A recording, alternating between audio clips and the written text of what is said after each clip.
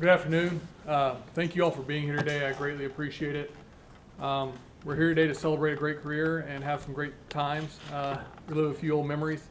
Uh, I want to thank Bruce Ludlow from the Southland Conference for being here, uh, many of you else who are here. Um, But I want to give an introduction to our head baseball coach, Jim Gilligan. He's one of 18 coaches in the history of the NCAA to reach 1,300 wins. He has 12 conference championships, 12 NCAA regional title tournament appearances, Six times he's been league coach of the year. He's a Southland Conference Hall of Honor member. When the Southland Conference had their 50th anniversary, they released all decade teams. Jim was on four of the five all decade teams. The only reason he wasn't on the fifth because we weren't in the conference. Uh, one as a player, three as a coach. He's had 140 all conference selections, 79 major league draftees, four All Americans, and six major league players.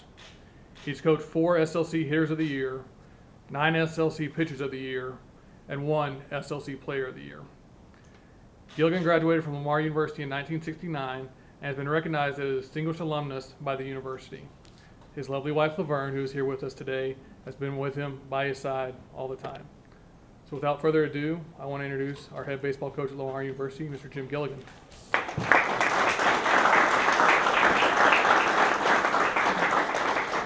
Wow.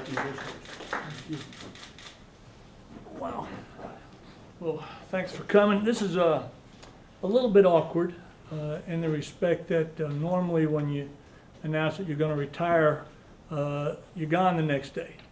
Uh, But I've got nine months left, so um, Ken Evans probably had the best recommendation, and Jason sort of indicated this. Uh, He said, let's celebrate it, and that's what I want to do. Um, I've already told my ball players here, I've already told them about it, and I've told our alumni at our golf alumni event. Uh, So now telling the media is, uh, is the last step of this. And then, uh, you know, it's time to get to work and, uh, and try to make this the best year I've ever had. Uh, Usually at these things, you, you try to thank everybody that's been important to you, but since I have nine months left, I don't want to thank anybody that I might feel like choking nine months from now. So, so I'm gonna save some of those, but, uh, one guy that couldn't make it here today was David Bernsen, and I wouldn't be here without David because I had already, uh, left Lamar. This was in nineteen eighty-six. Uh, went to Salt Lake City to be a pitching coach. The next year I managed that ball club. And, uh, and then David and I did a player agency and we, uh, we helped start the Taiwan Professional Baseball League and we had a lot of fun with that.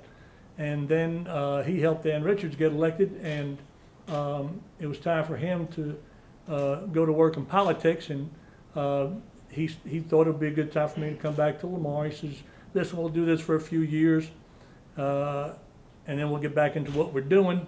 And twenty-three years later, I'm still waiting for that phone call from Bernsen. So, uh, so David, I couldn't wait on you.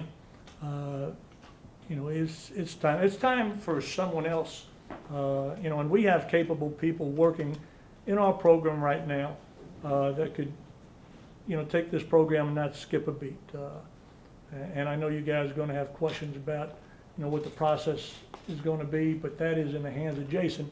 Um, One of the things I've, there's a couple of times when I've been uh, offered and- and uh, some people have wanted me to be an AD here, and I wouldn't take your job for any money in the world. It's too much work. Uh, But when you do hire an AD, uh, that's his job. The, the worst decisions we've ever made at this university on coaches are when non-athletic people were making the call on it. So uh, you put it into the hand of athletic people, and, and they'll make good decisions. And, I, and like I said, we have good human resources right here with Jimmy and Scotty.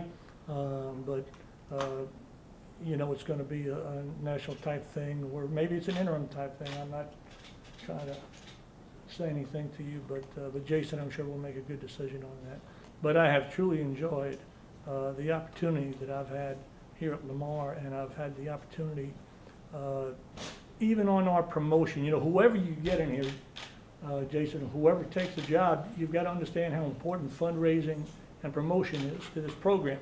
Um, Every coach at this level, you know, a Southland or a Sunbelt level, if they're not doing something to promote their program, they're not doing what they need to do to be a, to be a head coach. So, um, a lot of my time has been spent doing that. Laverne has sold more billboards, sold more banquet tables than any wife in the history of athletics. Uh, and made more cookies and, uh, so. Uh, in fact, I gotta tell you a good story. Uh, I was, I was in Houston. We had Sparky Anderson in here for a banquet. Sparky, uh, at the time, I think was the first guy to win world championships in both leagues. And he came in for uh, a banquet, and uh, I got really close with him and shared a lot of knowledge that I learned with Al Vincent. He was a fan of Al. And about three weeks later, I went down to uh, the Major League Winter Meetings. I took Al down there, and I'm walking through the lobby, and there's Sparky Anderson, Yogi Berra, and Billy Martin. And uh, he says, Jim, come on over here.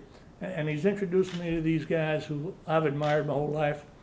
And he said, instead of this guy's a great pitching guy, this guy, he says, this guy's wife makes the best chocolate chip cookies, which put everything in perspective. You know, you can't get too full of yourself. And uh, but I'm, I'm I've had the opportunity to meet a lot of my childhood heroes uh, and and get to know them on a personal level. Uh, and and again, Al Vincent. If I didn't mention Al, if if you don't like what I did, then blame Al because most of it came from him. He was the greatest baseball man that I've ever known, and I'm glad his name is on top of that field. So uh, right now, uh, I'd rather turn it over to questions. Coach, what was the determining factor to make you decide now's the time? Well, um, I'm gonna be sixty-nine next month, and, uh, and I, while I feel healthy, uh, I don't feel as vibrant as I used to.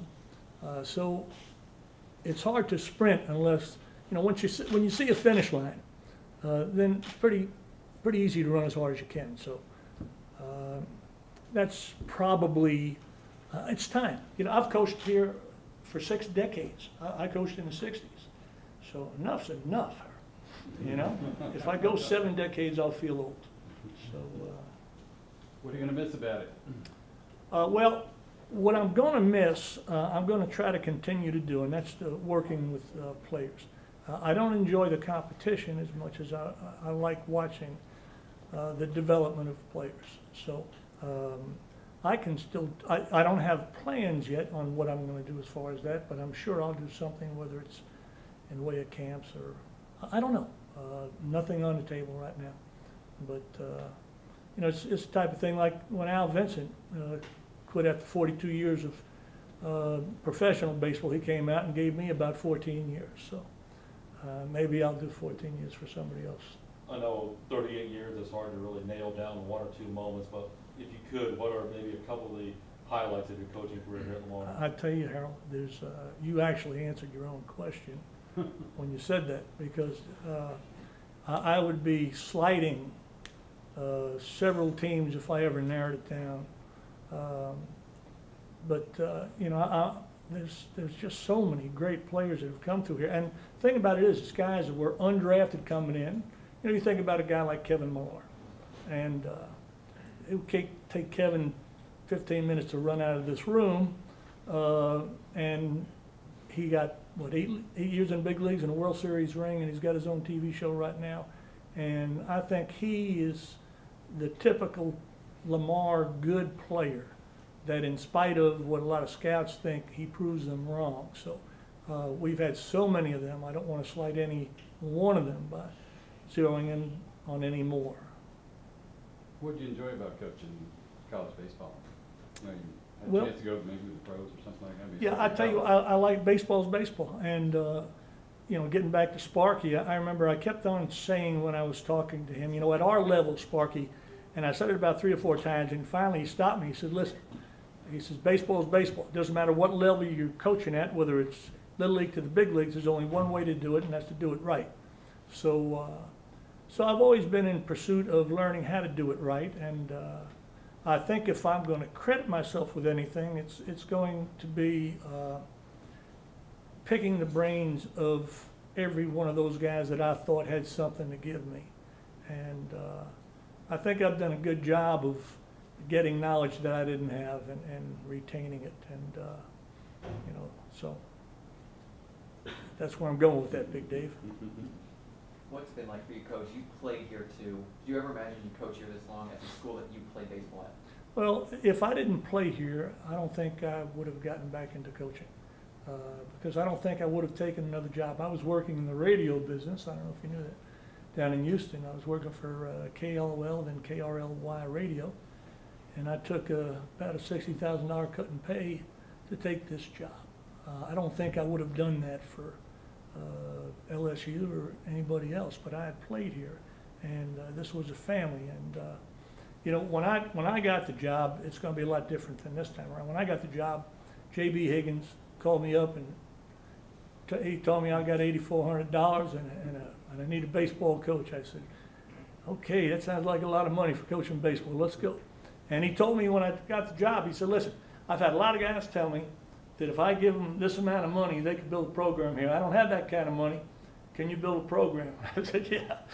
And uh, that was fun. What's been the secret behind your success? Players?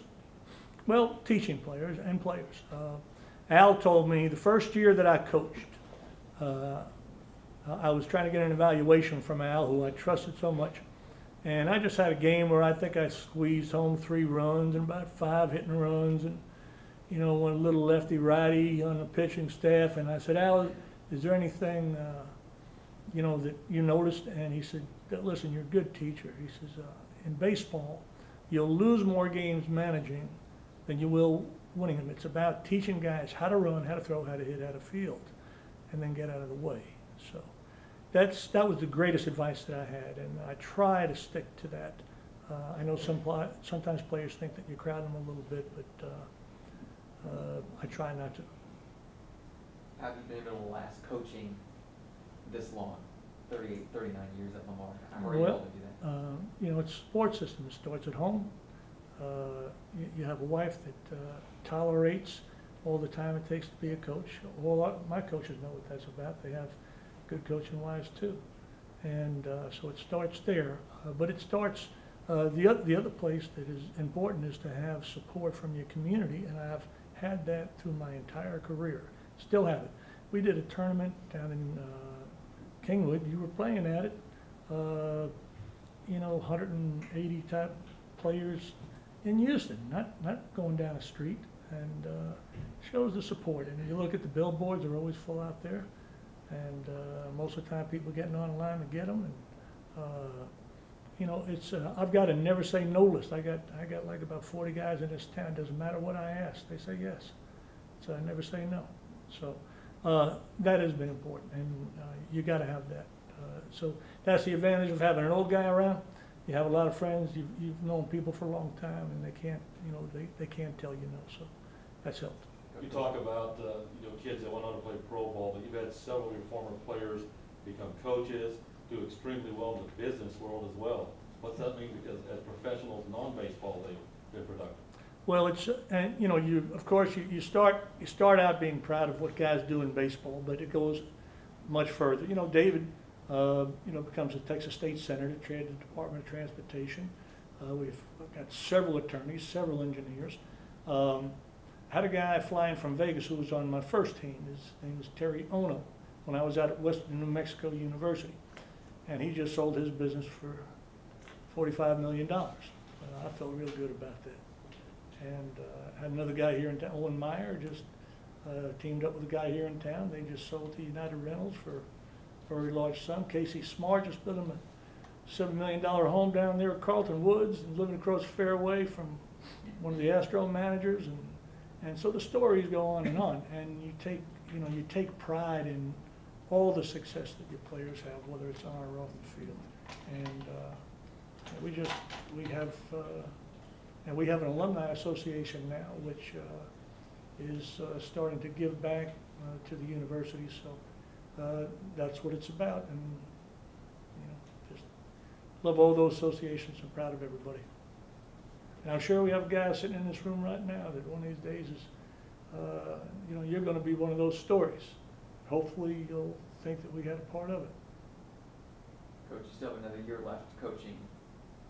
What's it going to be like for you knowing, just count down the games? Well, uh, again, you know, I'm going to, uh, Uh, I don't know if they're gonna wanna play for me this year, uh, because I don't care if they like me or not, I'm gonna give them a game. So, uh, so, you know, that's what it is, again, you can, you can sort of, you know, get the enthusiasm up because you know you've, you know, you've only got nine months of it, and really only, uh, three of those months are of a competitive nature, and most of it is stuff that you're gonna really enjoy. And we're gonna leave here, we're going out on the baseball field, and we're gonna have a great practice today, and I look forward to that. Uh, we'll compete against Rice in the fall, I love competing, uh, against Wayne Graham, uh, great coach, and, uh, you know, so the fall is gonna be a breeze.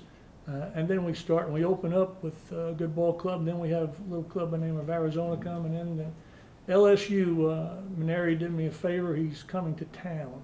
And I told him it was gonna be my last year, so I appreciate that, but, so, uh, I'm gonna have a lot of fun with it, but, uh, do not, not run hard to first base, or the other bases for that matter, because, uh, you might hear a screech coming out of the dugout. Any more questions? All right, Coach. Uh,